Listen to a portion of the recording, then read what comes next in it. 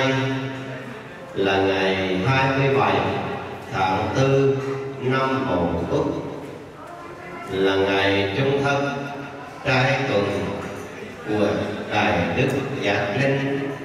Tùy theo bồ tát giới thích quảng phước hiểu thiền quả, môn đồ tử dũng của chúng con, cung ngộ ngày trung thất, phá nguyện kiến lập đại trái tràng giải quan bạc đồ, thiện pháp độ vong, trai tăng cũng dường, phẩm chư sanh loài trật tệ âm linh cô hộ giờ đây, chư vị hương linh đang quy tụ trước ba ngôi tam bảo trước phật đài pháp tòa của thượng tọa pháp sư, đang lặng lòng chờ đợi những dòng pháp âm nhắn nhủ, khai thị để cho chư vị hương linh cũng như âm linh.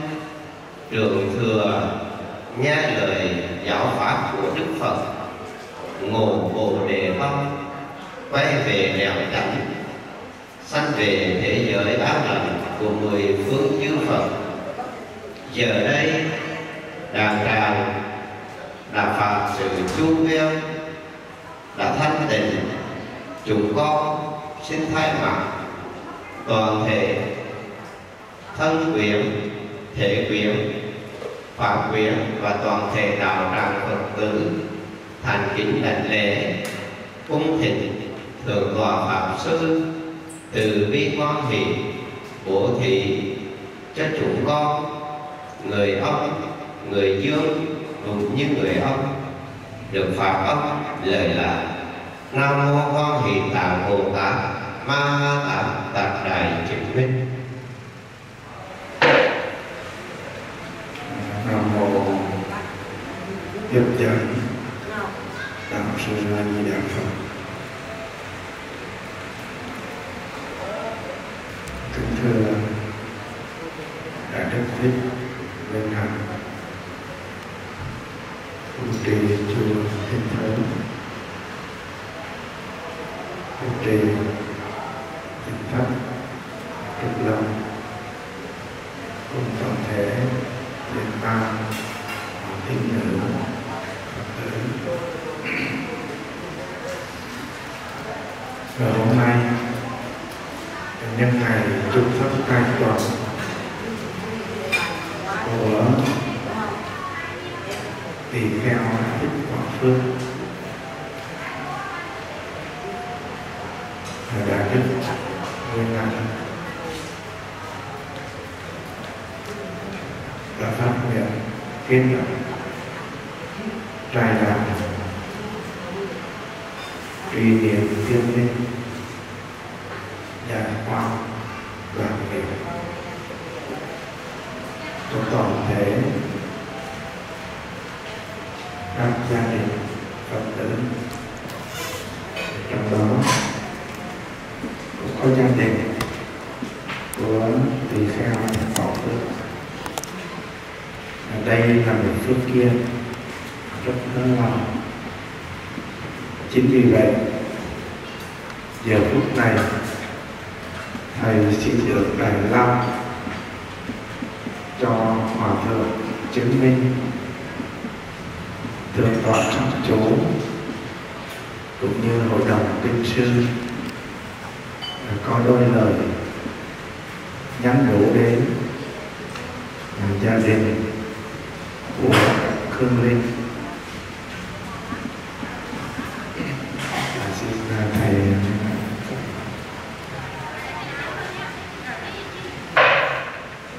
Và nam mô bổn sư thích ca mâu ni phật và thưa quý vị phật tử như là thân nhân của tỳ kheo quảng phước cũng như tất cả các hương linh và tin gửi cầu nguyện trong đàn đàn ngày hôm nay. Tôi vị biết rằng, may mắn nhất của một con người đó là được sống trên cõi đời này đầy đủ lục căn. Mà tất cả ở đây, chúng ta cũng được đầy đủ những cái phước duyên đó. Rồi có nhân duyên trong một đàn tràng như thế này. Là thông qua ngày chung thất, của tỳ kheo thích quảng phước là một người xuất gia. Ham tu, ham học. Nhưng cái nghiệp duyên còn rơi rớt cho nên chưa thực hiện trọn vẹn cái sự nghiệp tu học của mình cũng như cái chí nguyện hoàn pháp như vậy, quý vị mới hiểu được rằng đời người người vốn là vô thường. Dù đó là người tốt dù đó là người đời, tất cả ai cũng phải chịu cái quy luật đó. Nhưng mà khi thời gian còn hiện thế tìm theo cái quán phước là một người rất là nỗ lực tu học. Trong hiện đời này đã vượt qua bao nhiêu cái chướng duyên cái khó khăn. Mà thầy Quảng Phương làm tròn trách nhiệm bổn phận của một người xuất gia tuy viên còn đeo đuổi nhưng một ngày hôm nay ngày định nghiệp của tỳ kheo thiết quảng phúc, mà chúng ta cùng về đây để góp lời cầu nguyện cho thầy. Đồng thời cũng là để có cơ hội để chúng ta cầu nguyện cho thân nhân của chúng ta. Như vậy để quý vị hiểu được rằng cuộc sống nó muốn ngắn ngủi. Không phải ai muốn sống dài lâu cũng được, mà tất cả mọi thứ trên đời này đều phải do cái nghiệp duyên đó. Bằng chứng như ngày hôm nay, quý vị ngồi được đến đây là chúng ta cũng do cái duyên từ trong nhiều đời nhiều kiếp, chúng ta đã kết nguyện làm bà con làm quyến thuộc. Ngày hôm nay chúng ta được ngồi chung dưới cái mái tuyệt thất này trong cái đàn trà đem tâm cầu nguyện. Như vậy, bản thân của quý vị, giờ lúc này hãy lắng động tâm tư, hướng về người thân của mình. Đặc biệt là chúng ta một lòng cầu nguyện cho tùy theo những quả phước sớm thực hiện được cái hạt nguyện cao cả mà thầy đã ước muốn. Đồng thời, quý vị biết được rằng trên tay của quý vị là những bài vị là những người thân của quý vị hoặc là mới mất hoặc đã mất trong nhiều năm. Nhưng mà quý vị biết rằng không phải chết là hết, mà chết chẳng qua chỉ là chuyện có một đời sống khác. Quý vị thấy được rằng trên tay của mình có thân nhân. Nhưng mà nhìn lại cái tâm thân của mình là do đâu là do từ ông bà, cha mẹ của mình trong cái tâm thân này. Do vậy, quý vị hãy ngồi, hãy nghiệm lại, thấy rằng cha mẹ, ông bà của mình, người thân của mình cũng đang có mặt ở trong mình bởi vì mình là người tiếp nối. Ông bà, cha mẹ của mình mà thôi. Do đó, quý vị này, hãy thành tâm hướng về tam bảo thay vì cho các hương linh quá cố để sám hối những lỗi lầm mà chưa linh thân linh của chúng ta là vướng phải. Đồng thời cũng sẽ mong cho họ qua được nỗi khổ đau ở giữa địa ngục. Và tí nữa, quý thầy sẽ làm phép giải quan cho quý vị. Do đó, mà thầy nghĩ rằng bản thân quý vị là người trực tiếp thương thân nhân của mình, thân nhân của mình có mặt ở đây, thì quý vị phải dành hết những tâm tư những tình cảm của mình để hướng về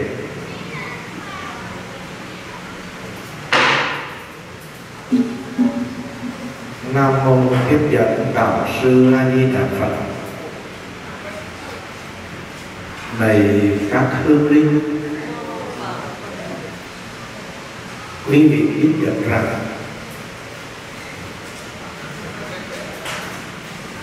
ở trên đời ai cũng có nghiệp duyên dù nhiều, dù ít.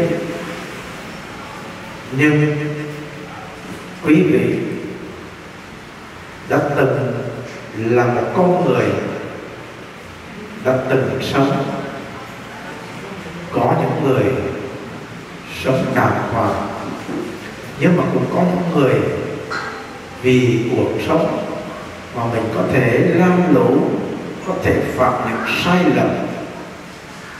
Ngày hôm nay quý vị phải ý thức được rằng cuộc đời con người, ai cũng có sai lầm. Nhưng mà đức phật dạy rằng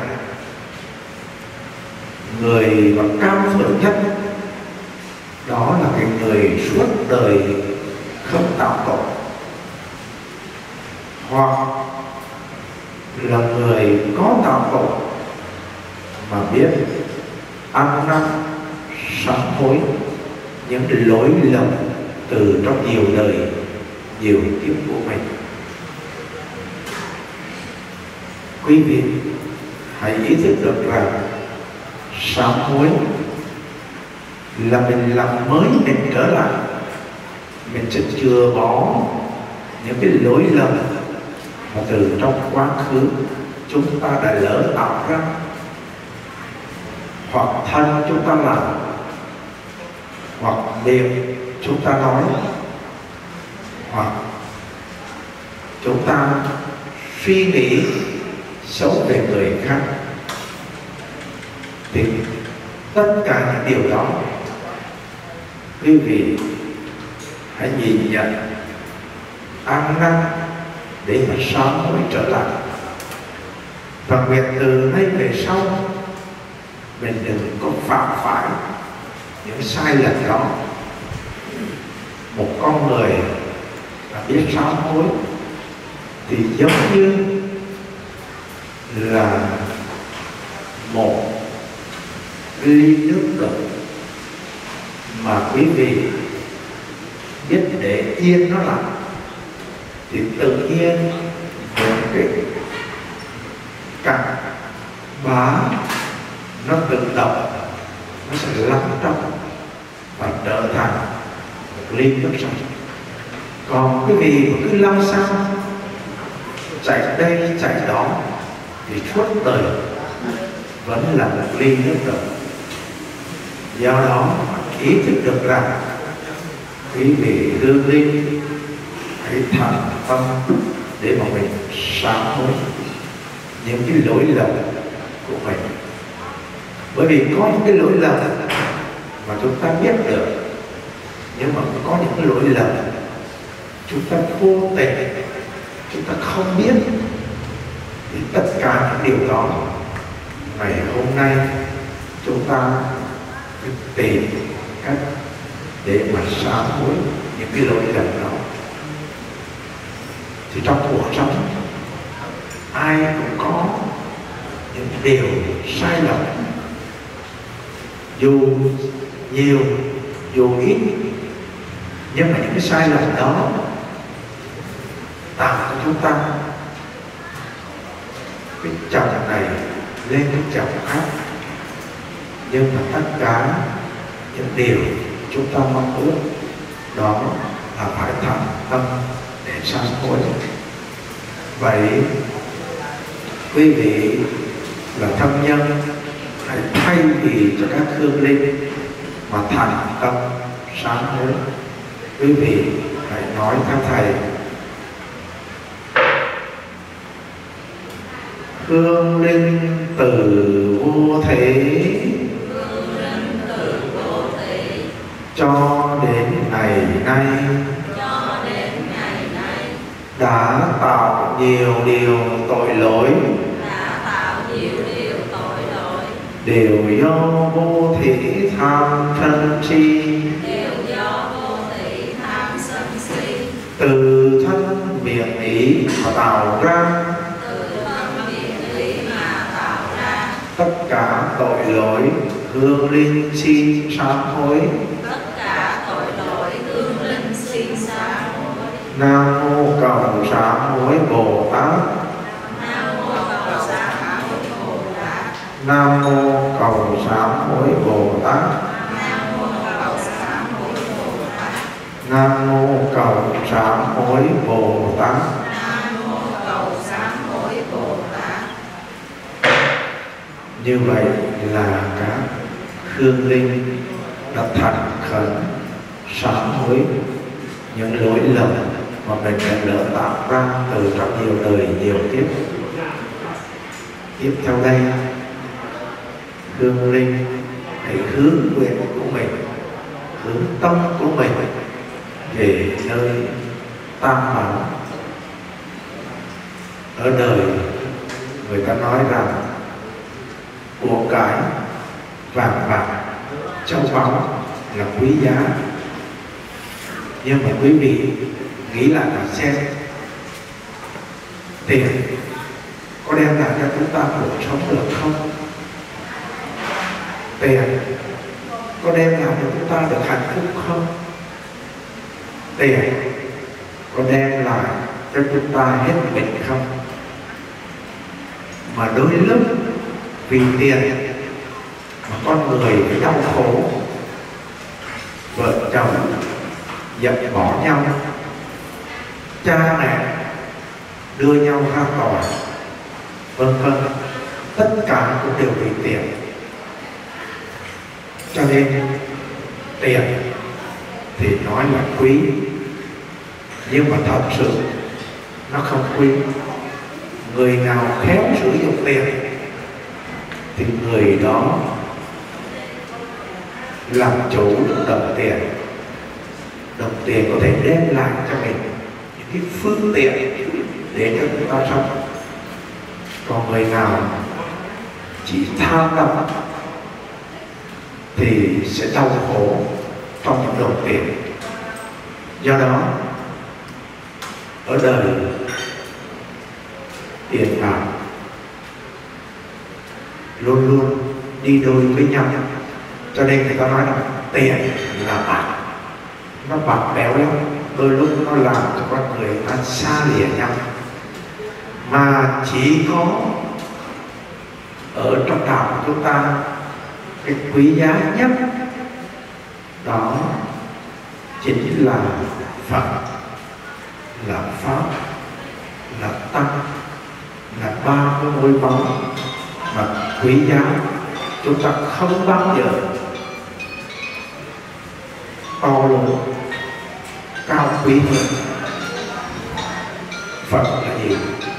Phật là người giác ngộ là người hiểu biết, là người đưa đường, dạy lối cho mình trong cuộc đời.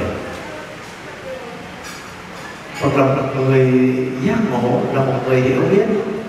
Nhưng mà mình phải hiểu cái gì? Phải hiểu cuộc đời này là vô thường đơn giản như ngày hôm nay chúng ta tổ chức lễ chung thắp cho thầy Quang Phước.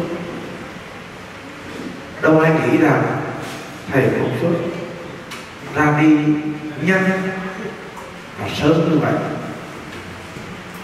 Thầy là người chứng kiến, bởi vì thầy Quang Phước là người ở chùa cùng thầy. Đồng một cái, bảo rằng mình đau bụng rồi đi khám rồi phát hiện ra nguyên nhân, nguyên nhân đến nỗi mà mình không ngờ không đến cho nên nói đến cái sự vô thường như vậy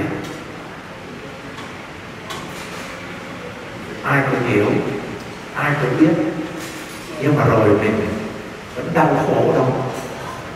Chỉ có phật mới hiểu rõ cuộc đời vô thường, đó là cái chuyện đương nhiên.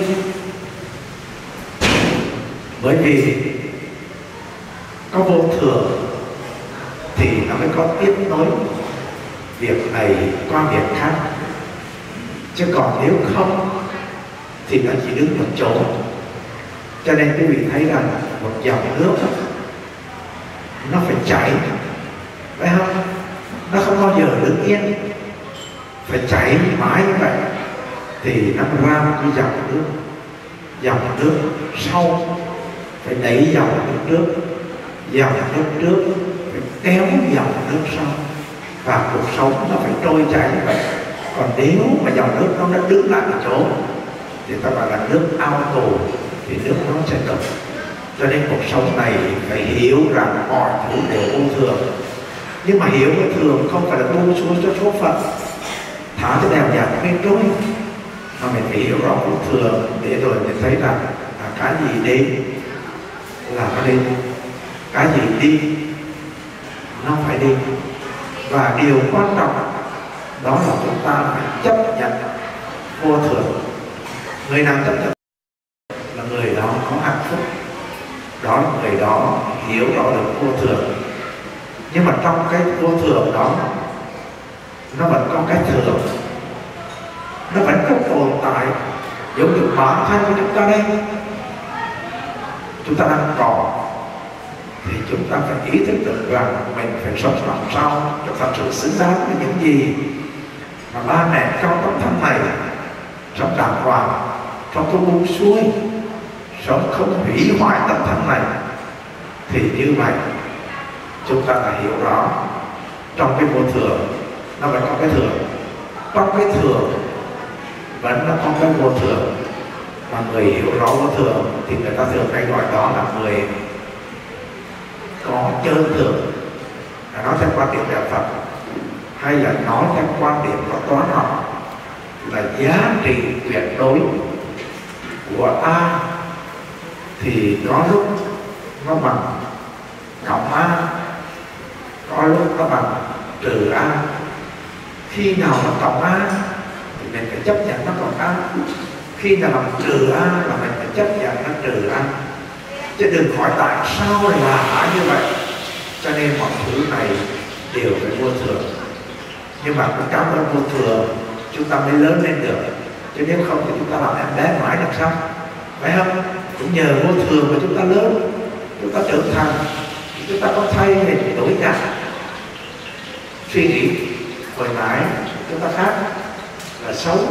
Nhưng mà suy nghĩ bây giờ nó hết rồi, nó tốt đẹp hơn. Thì cũng nhờ cái vô thường đó để mà chúng ta hiểu rõ cuộc đời này. Cho nên sống mình không bị vướng mắc gì. Phần là phải người hiểu rõ được cái vô thường đó. Nhưng mà cũng phải hiểu rõ được các pháp là vô ngã, tức là không có cái ngã thật đời này không có cái gì là đã thật, kể cả tâm thân của mình. Quý vị tâm thân này, mình tưởng là của mình, nhưng mà thực tế mình nhìn lại nó. Tấm thân này là do bốn yếu tố, là đất, là nước, là gió, là lửa để tạo nên cái thân chất này. Còn duyên thì còn tồn tại. Hết duyên tấm thân này phải trả lại cho các tục mà mình nhìn thấy, thầy có phước để là mình thấy cách đây bốn cái chín ngày tấm thân của thầy nó vẫn còn. Phải không?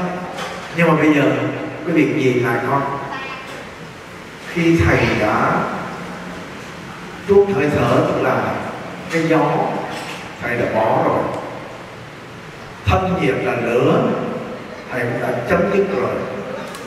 Mà còn hai cái là xương thịt tức là đất, máu huyết, tức là nước. Là đồ mình cũng phải nhờ lò thiêu. Nó đưa thầy về như vậy. Thì hôm nay mình nhìn thấy thầy chỉ trong một cái cuốn rất là đơn giản. Đấy. Cho nên con người của mình to, lớn, mình tưởng là của mình mà rồi cuối cùng nó đâu phải thật, đấy là chúng ta đang vay vay mượn cho nên trịnh công sơn hai rằng hạt bụi nào nó tiếp thân tôi để một mai tôi trở về là các bụi đấy, quý vị thấy tấm thân này là do vay mượn hết duyên phải trả tấm thân này, nó phải là của mình đâu, vậy mà mình đi chấp là của mình rồi mình tự cao tự tạo đủ thứ bật nhã chúng ta thể hiện.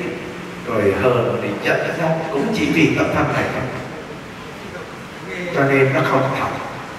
Mà điển hình, thầy, quý vị cái gì đây. Đây là một đóa hoa, phải không? Bây giờ mình trân quý và mình gọi nó là hoa. Đấy. Phải không? Nhưng mà năm ngày sau hoa này bắt đầu là úa úa tàn. Và bắt đầu khi mà úa tàn thì chúng ta làm gì để hoa đây?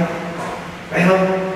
Và bắt đầu chúng ta phải tạo gọi cho nó một cái tên khác. Là tên rác phải không? Bây giờ mình gọi là hoa, nhưng mà năm ngày sau mình đâu gọi là hoa nữa. Mình gọi nó là rác bản thân nó, đâu có muốn nó là rác nữa. Vậy mà mình áp sập lên cho nó. Là phải rác. Mà đương nhiên rác thì đương nhiên đâu có thể ngồi đây được, mà rác phải bỏ đúng cái chỗ của rác đấy, con người mình cũng thế. Vì bản ngã mà đau khổ, hơn thua, chứng tỏ rằng này, chứng tỏ kia. Vô cùng vương mắc. Cho nên Đức Phật phải là người hiểu rõ các pháp là vô ngã tức không có ngã thật của nó. Mà tất cả chúng ta đều là tạm gọi tạm quy định với nhau thôi. Ví dụ cái chén là người miền Nam chúng ta gọi là cái chén. Nhưng mà cái vị cũng là một cái chén đó nhưng mà đi ra ngoài Bắc người ta đâu gọi là cái chén. Mà người ta gọi là cái gì? À, là người ta gọi là cái bát phải không? Mình thì gọi là cái chén nhưng mà người kia gọi là cái bát và hai người cãi nhau.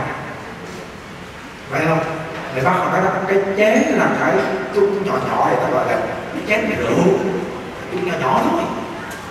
Còn người miền Nam thì gọi là cái chung chứ không gọi là cái chén Đấy, cho nên cái đó là chúng ta tất cả mọi thứ đều chúng ta áp đặt. Và khi áp đặt như vậy là không có có thật, mọi thứ đều vô ngã không có ngã thật như vậy. Và người hiểu rõ được điều đó. Người đó gọi đó là là Phật. Và hôm nay quý vị hương linh phải hiểu rõ được điều đó. Để về những nương tựa trở lại. Đồng thời Phật phải là cái người thương yêu được tất cả mọi người. Thương không có bỏ ai ghét ai mà đối tượng nào mình cũng phải thương. Chứ còn nhiều người thương mà lửa lửa mà thương đó, là người đó đau khổ. Bởi vì sao? Mình lửa thương cái người mà mình muốn thương là thương không được. Cái người mà không thương mình ưa ghét thì họ là cái sự sợ ở đây với mình. Làm sao? Cho nên cuối cùng mình đau khổ.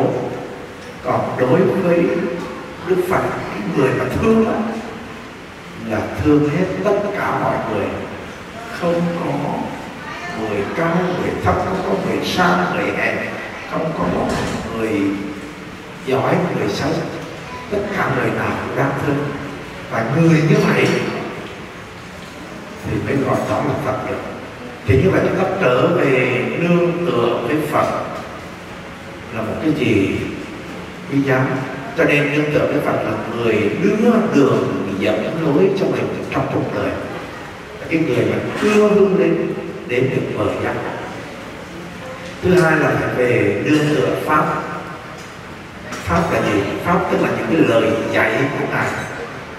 Những lời dạy của ngài là những cái ngài dạy thì đương nhiên. Cái chính của ngài, mục đích của ngài là làm cho người ta hết hết khổ. Tất cả những cái lời dạy nào là làm cho người khác hết khổ thì gọi đó là pháp mục đích của duy nhất của đức phật ra đời là làm cho chúng ta thêm khổ. Nhưng mà giờ quý vị biết rằng đừng nghĩ chữ khổ là cái gì? Có nhiều người giàu, họ cũng ăn khổ. Có những người nghèo thì là khổ là đành rồi.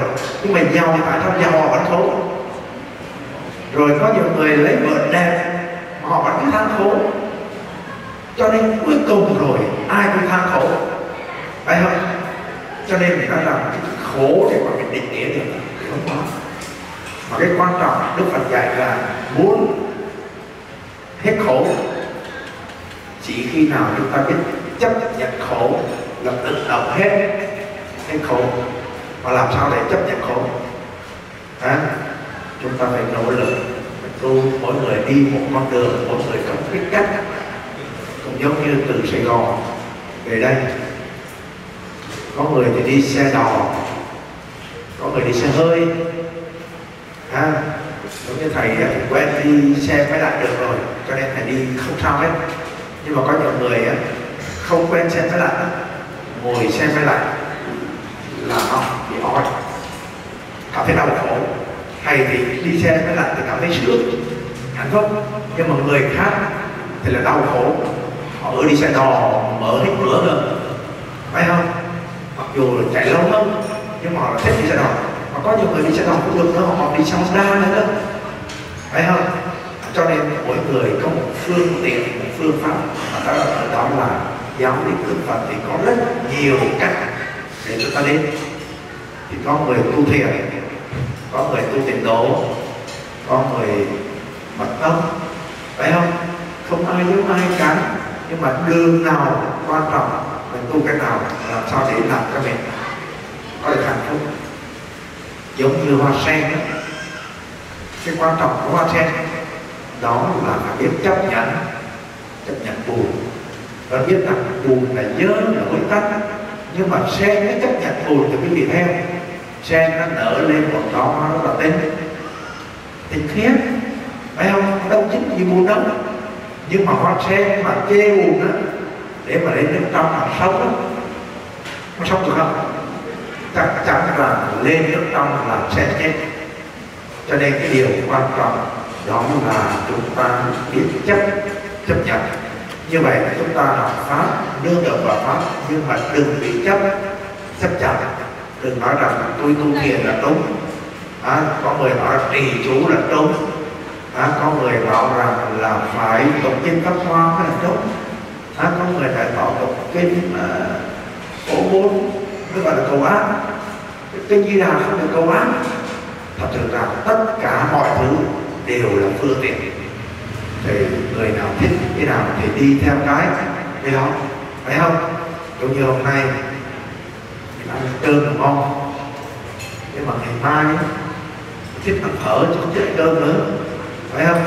Cho nên cái điều quan trọng đó là chúng ta biết hạnh phúc, chấp nhận trong thực tại. Thì thầy mong rằng tất cả các hương linh hãy ý thức giờ này chúng ta, ý thức trong hiện tại để chúng ta đi theo nương theo pháp. Mà tí nữa các thầy sẽ dẫn dụ các vị để mà đi theo nương theo pháp để mà vượt qua được bờ bờ bờ bên kia, bờ mê à bờ bờ giác ngộ. Phải không? Từ bỏ bờ mê để qua bờ giác ngộ. Và cái cuối cùng đó là chúng ta phải hướng tâm về tăng tăng là những vị thầy là những người xuất gia từ mỗi người trở lên sống chung hòa hợp như nước với sữa tăng là cái người thay phật để tuyên dương chánh pháp, để hướng dẫn cho quý vị. Quý vị phải có tăng thì mình mới đi đúng đường, đúng hướng.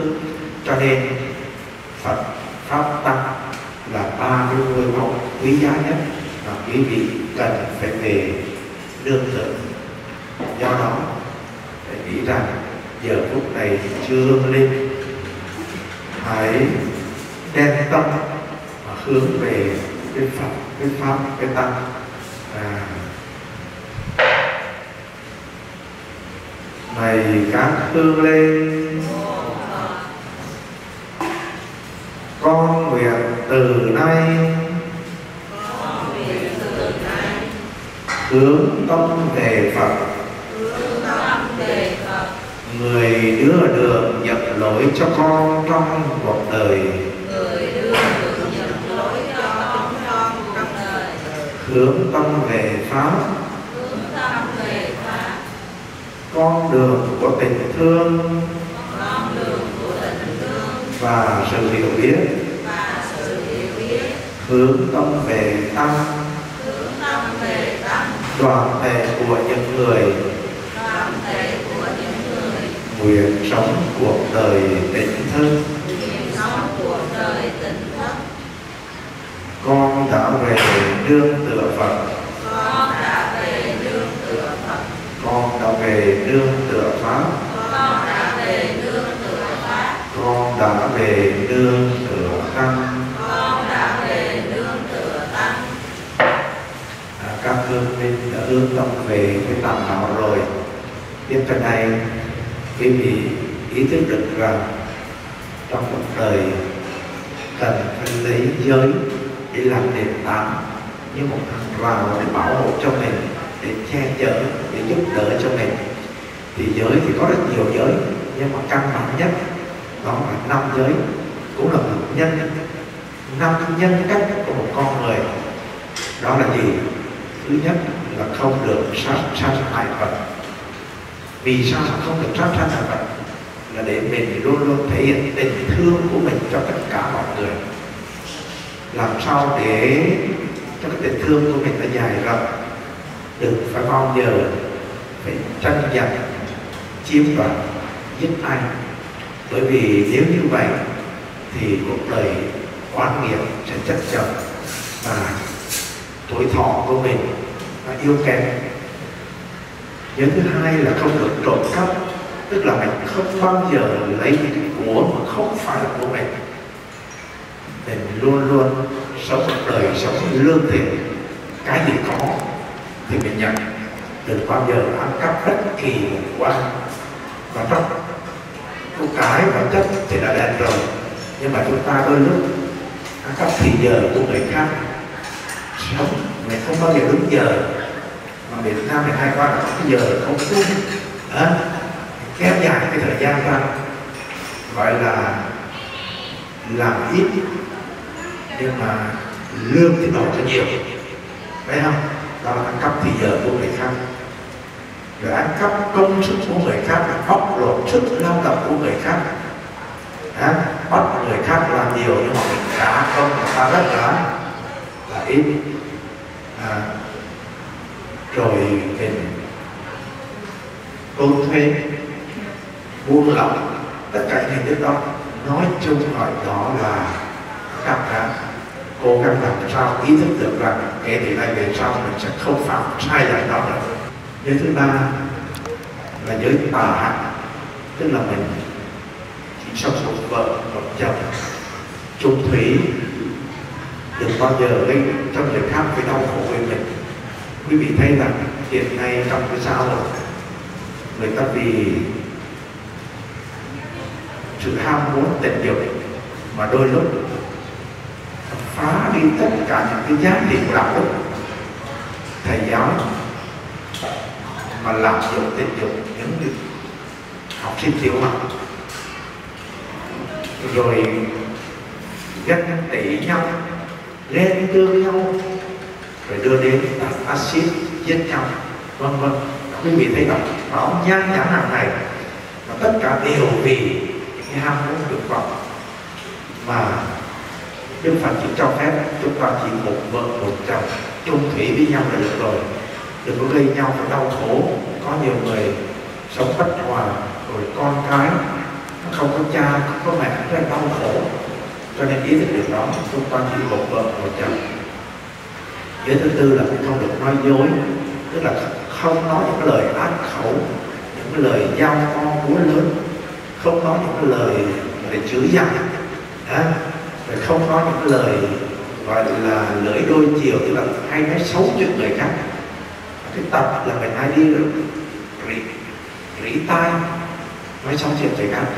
Hoặc là mình nói những lời tâm bốc để mở à, vua định người khác hoặc là có những cái lời mà mình gọi là nói dối, có hay không không phải nói, phải có. Thì tất cả những điều đó chúng ta không nên nói.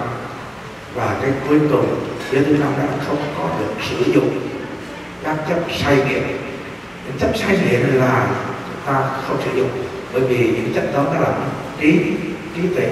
Và hàng ngày quý vị thấy là có những người say lên rồi, giết vợ, giết con say lên đi phá làng phá sông phải không?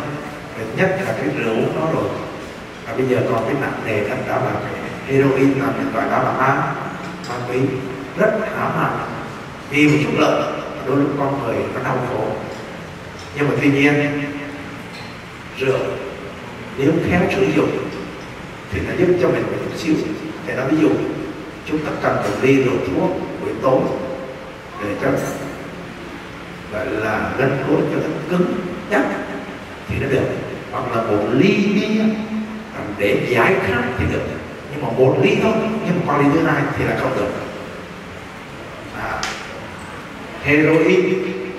Quý vị thấy heroin mà thầy nói điển hình giống như thầy quảng phước. Cái bệnh của thầy quảng phước là phải sử dụng. Đấy. Mà mình tạm gọi đó là thuốc giảm. Trong đâu cái thực tế nó là heroin đấy nhưng mà tùy theo điều lượng để ta sử dụng phải không? Cho nên là quý vị biết rằng nếu mà chết nhiều á, thì nó làm sao nó đô lên cao nó chết nhiều? Cho nên con người ta đau khổ với nhưng mà chúng ta nếu khéo sử dụng thì nó giúp cho chúng ta. Nếu chúng ta không khéo sử dụng thì nó sẽ làm cho chúng ta trở thành ma quỷ, đau khổ.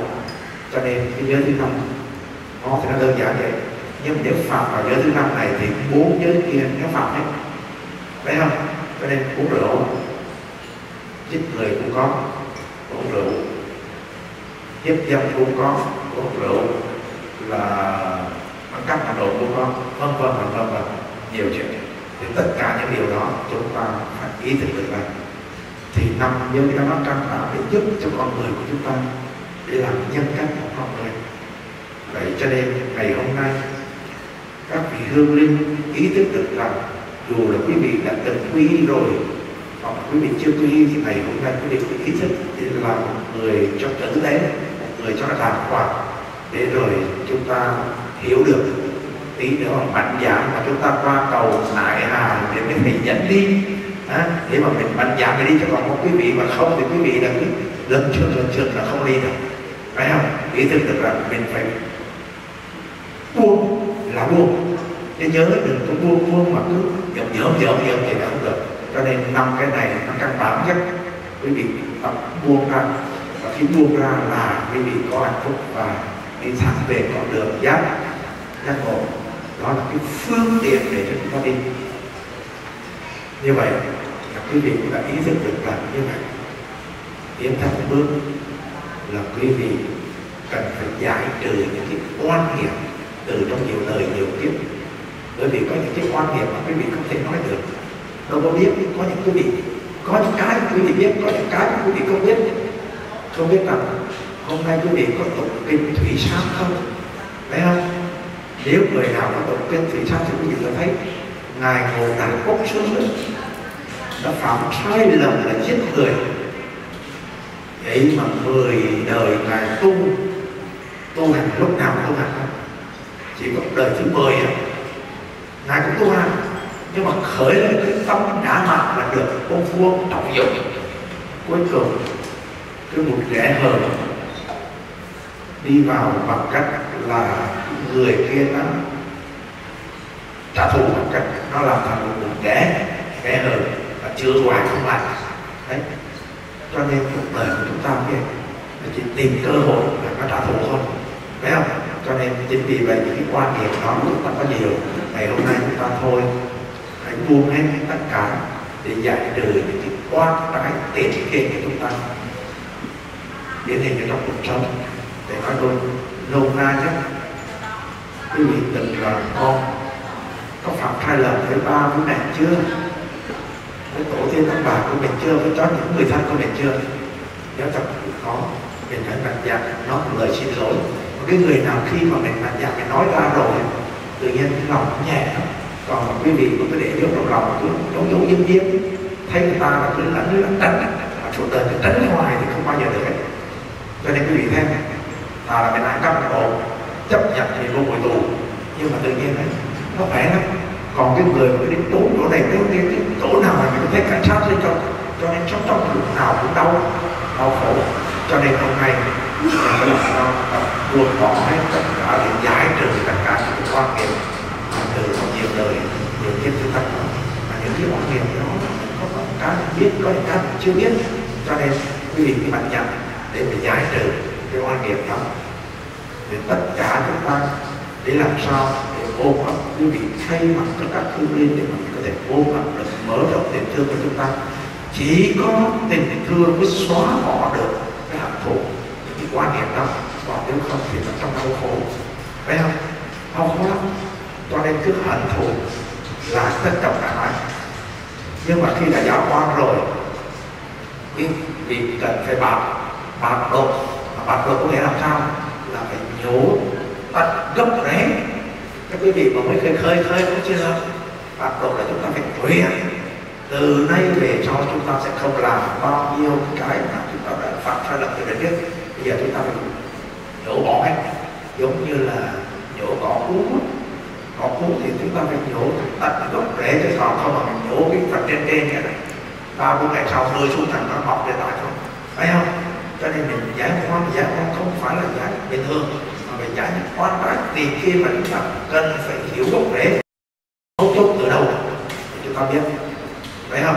À, chúng ta phạm sai lầm từ đâu? Chúng ta biết ngày hôm nay để biết như vậy thì thông qua các vị hương linh bản thân quý vị là những người thân, thì quý vị cũng phải hứa với thân linh của mình sống làm sao cho thật sự xứng đáng đàng hoàng, có phạm sai lầm với ai thì cứ mạnh dạn để mà mình xin lỗi, sống ôm ấp trong bao nhiêu tha thứ cho nhau thì tự nhiên gia đình của mình sẽ được hạnh hạnh phúc.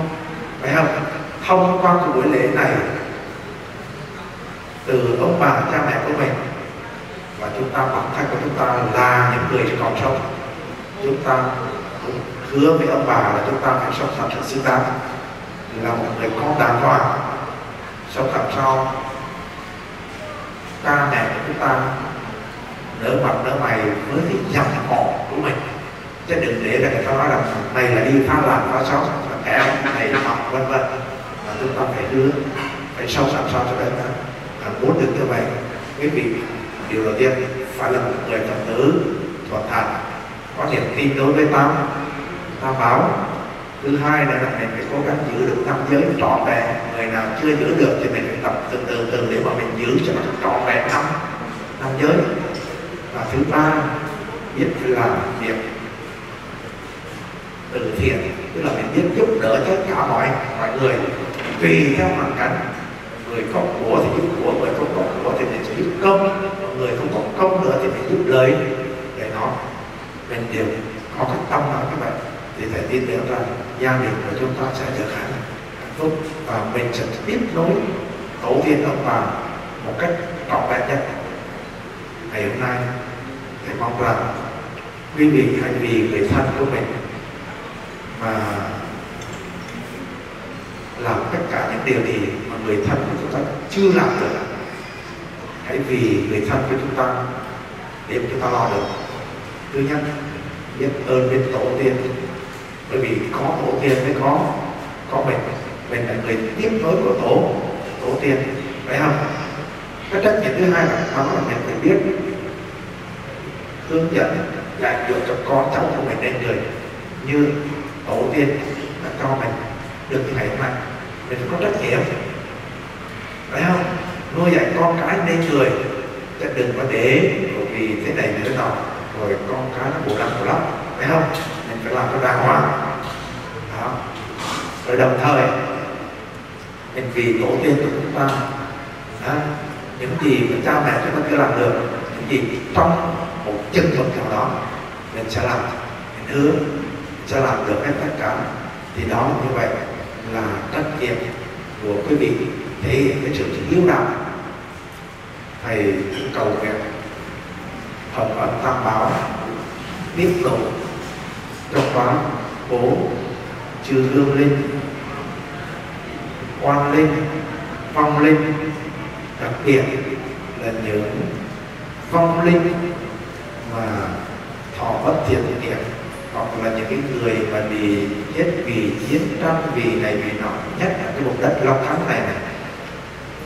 Chưa kia chiến tranh rất nhiều cho nên có rất nhiều cái quan hồn lượng tử. Mà ngày hôm nay chúng ta cực kỳ họ để mà mình làm sao để giải trừ những cái oán kết tâm và đồng thời, những cái người này gọi là thai nhi, sảy thai, dù là chúng ta cố ý hoặc là dù chúng ta vô tình, thôi thì cũng vì tất cả những cái em bé đó mà chúng ta cũng cầu nguyện các em bé được siêu sanh đến độ và giải trừ cái quan kết đây bởi vì nhất là những người phụ nữ bởi vì hoàn cảnh hoặc là vì một cái gì đó mà đôi lúc chúng ta bỏ, thì đôi lúc mình cũng biết ăn năn biết hối hận để vì tất cả những như vậy những điều đó thì thì tin tưởng rằng tất cả chúng ta đều có được hạnh phúc.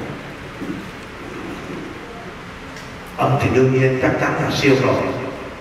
Tí nữa quý thầy chủ sáng quý thầy kinh sư sẽ hướng dẫn cho quý vị đi từ bờ B qua bờ giác và đi qua tất cả là phải mấy cái cửa mà mình gọi tạm gọi đâu ra là cửa địa ngục.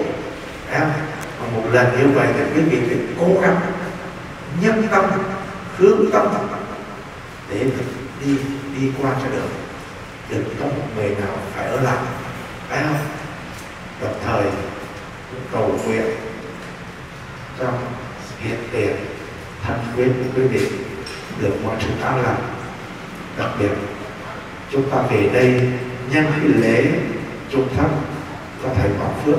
Đó là cái duyên lành để chúng ta kết nối với nhau, để làm và con bạn đỡ với nhau. Và một điều quan trọng là may tại đàn đàn này, chắc chắn rằng quý vị sẽ được giải trừ tất cả những cái quan đối, quan thiên từ trong nhiều đời nhiều kiếp. Giờ phút này quý vị thành tâm niệm phật để cầu nguyện cho tất cả những hương linh quan linh sớm được chiêu trăng tịnh đầu. Nam mô